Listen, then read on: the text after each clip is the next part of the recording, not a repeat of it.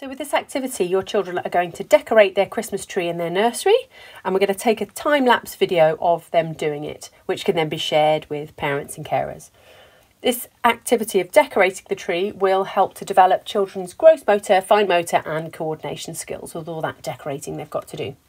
A time-lapse video is a video that speeds up the speed of the original video so that you can capture a process that takes a long time in a matter of seconds or minutes. So first of all, you need to set up your iPad. So put it in a position that captures your scene well.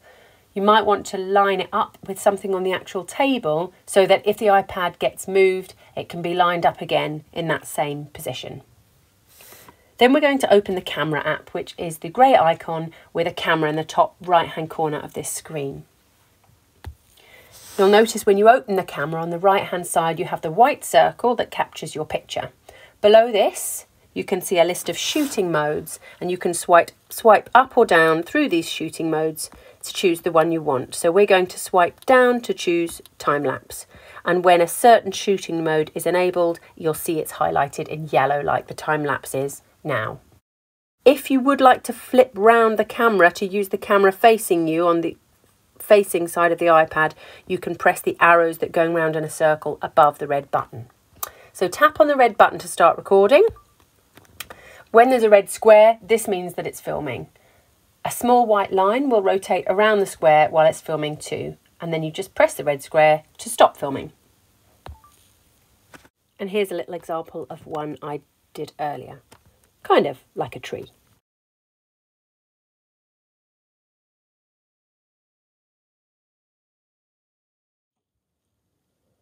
Once you've stopped filming, the film is saved to your photos and you'll see there's a little icon of the captured film that will appear underneath the, your white circle there. And you just tap on it to view your video. If you would like to edit your time-lapse video at all, you can press tap on edit on the top right hand corner of the screen which will then take you through to an editing screen and allow you to do things like trim the video. So you see on the bottom, there are all the frames of your video and there's an arrow on the right and an arrow on the left. And if you tap and hold on one of the arrows, so if I do it on the right arrow, you'll see it turns yellow and that will allow me to trim any of the picture that I want, any of the video that I want to. And then at the top right, you press done when you're finished. You can save it as the video is now, or you can save it as a brand new video clip.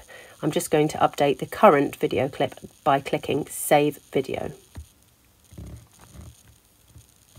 You can also share, so on the top left hand corner is the share icon, the box with an arrow pointing out of it, to share your film as needed.